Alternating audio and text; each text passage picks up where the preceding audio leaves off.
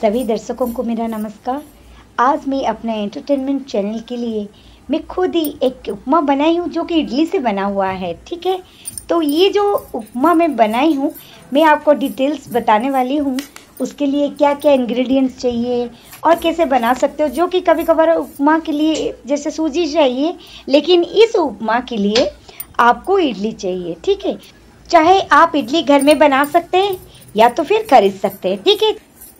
अब देखते हैं उसके लिए क्या क्या आप लोग को लेना पड़ेगा। मतलब चाहिए इंग्रेडिएंट्स प्याज, गाजर, बारीक से कटी हुई हरी मिर्च, मटर, अगर हो सके।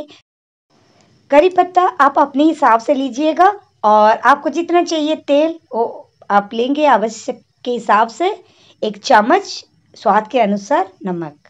अगर आप लोग मीठा खाना पसंद करेंगे तो इसमें आप चीनी भी डाल सकते हैं। और अगर आप लोगों को बहुत तीखा खाना है तो आप कोई भी मसाला पाउडर डाल सकते हैं। लेकिन ये मेरा मसाला पाउडर, सिर्फ़ चिकन मसाला पाउडर थोड़ा सा डाला हुआ है, क्योंकि ये एक हेल्दी फ़ूड है।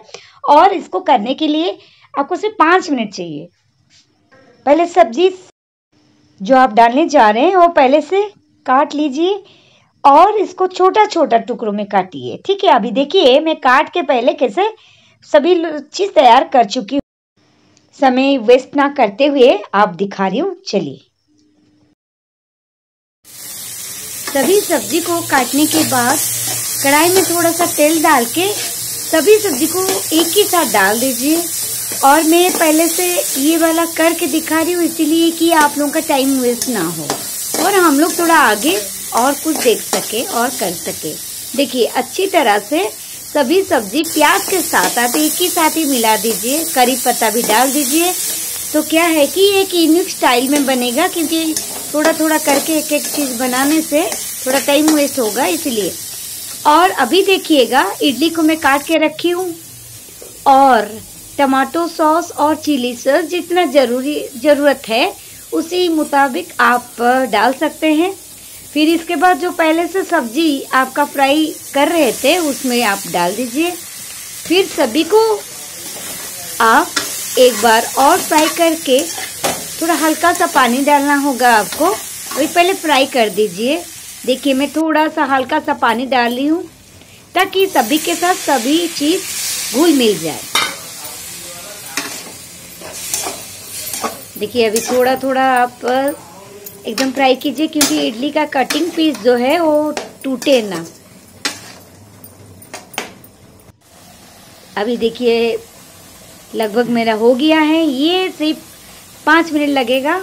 आपको ज़्यादा टाइम नहीं लगेगा। आप इडली खरीद सकते हैं या तो घर में बना सकते हैं। ठीक है, अभी देखिए, मैं सॉस मिला रही हूँ। चिली सॉस और टमाटो सॉस एक ही साथ आप मिला सकते हैं। अगर आप इसमें मिलाना नहीं चाहते तो खाने के टाइम में भी मिला सकते हैं। और दो दो बार मिलाने से भी टेस्टी रहेगा। ठीक है? देखिए अभी और थोड़ा सा बॉईल करने के लिए छोड़ दीजिए। देखिए थोड़ा थोड़ा कलर आ रहा है। धीरे धीरे आप ऑब्ज़र्व कीजिए। जैसे कि हल्का सा देखिए सभी चीज़ फ्राई हो गया और घुल मिल भी गया एक दूस, एक दूसरे के साथ। देखिए अभी काफ़ी कलर आ रहा है। क्या है कि खाने का चीज़ है। थोड़ा सुंदर दिखे, और अच्छा लगता है खाने के लिए। ये एकदम सिंपल प्रोसेस है। इडली का उपमा जो है रेसिपी अभी देखिए, पूरा पूरी आपका घुल मिल गया। अब इसके बाद क्या करना है आपको? एक प्लेट लाइए, फिर इसके बाद आपको सर्व करना है, और सॉस के साथ। देखिए, काफ़ी अच्छा लग रहा है।